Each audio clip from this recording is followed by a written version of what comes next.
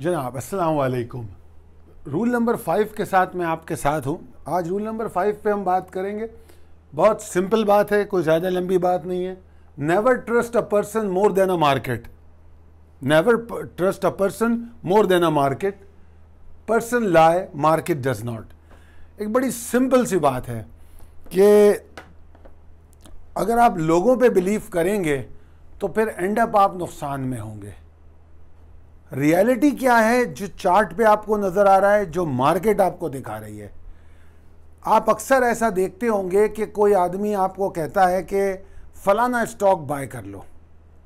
वो ये नहीं बताता कि ये स्टॉक कहाँ तक जाएगा, इस स्टॉक का स्टॉप लॉस क्या होगा, ये सब नहीं बताता।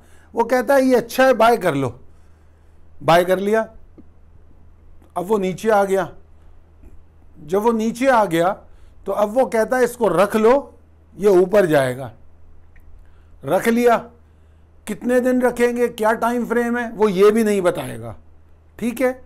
मार्केट क्या बता रही है कि वो बतदरीज नीचे जा रहा है। अगर फ़र्ज़ कर लीजिए थोड़ी देर के लिए कि वो नीचे जाके ऊपर आएगा तब भी ये बात गलत है।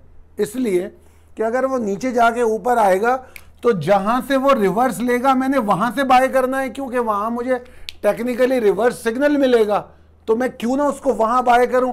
मैं यहाँ बाय करके इंतज़ार करता रहूँ, फिर यहाँ आए, उसके बाद फिर ऊपर जाए, और मेरी एनर्जी एग्जॉस्ट हो जाएगी। यहाँ से यहाँ तक जब वो नीचे आएगा तो मैं अपने आसाब पर काबू छोड़ चुका हूँगा फ्रस्ट्रेशन लेवल मेरा बढ़ चुका होगा और जब ये वापस आएगा तो मैं यहाँ पे एग्जिट हो जाऊँगा।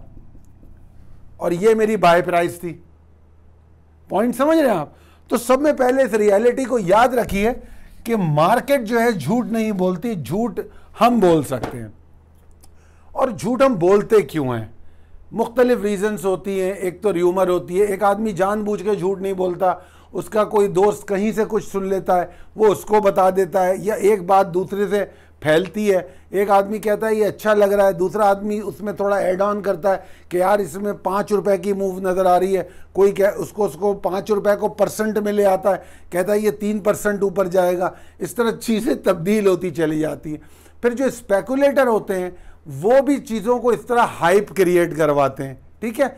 तो बहरहाल, ये तमाम अवामिल जो हैं, वो मार्केट के मुकाबले में झूठ बोल सकते हैं। मार्केट क्या है? मार्केट जो हो रहा है, वो दिखा रही है। Market is nothing but the reflection of human behaviour. जो उस वक्त ह्यूमन बिहेव कर रहा है, जो ट्रेडर बिहेव कर रहा है, वो उस वक्त आपको दिखा रही होती है। तो क्या अच्छा नहीं है कि हम रियलिटी पे बिलीव करें? हम लोगों पे बिलीव करें? तो इस इस रूल का मकसद मेरा समझाना यही है कि प्लीज़ प्लीज़ रियलिटीज़ पे बिलीव करें लिजिटिमेट बात पे बिलीव करें। सिर्फ़ लोगों के अगर लोगों की इनसाइड न्यूज़ है, लोगों की सुनना चाहते हैं, सुनिए। उसको एनालाइज कर लीजिए, उसको टेक्निकली चेक कर लीजिए डबल चेक कर लीजिए। सिर्फ़ सुनते ही ट्रेड में आप एंटर मत हो। अगर फ़र्ज़ कीजिए कोई कहता है कि जी फलाना स्टॉक ऊपर जाएगा ओके सुन लें। उसको आके चेक करें, उसके फंडामेंटल देखें, उसकी टेक्निकल पोजीशन देखें। फिर अगर वो अच्छा है तो ज़रूर एंटर हो। मैं ये नहीं कह रहा कि आप कान ही बंद कर लें। हो सकता है वो इंसाइडर न्यूज़ ठीक हो, आपको कोई अच्छी न्यूज़ मिल रही हो, मगर उसको आप चेक करें, बगैर चेक किए, और चेक करने के पैमाने दो ही हैं फंडामेंटल और टेक्निकल फंडामेंटल आपको उसकी फंडामेंटल वैल्यूज़ बता देता है टेक्निकल आपको ये बता देता है किस जगह पे एंटर होना है.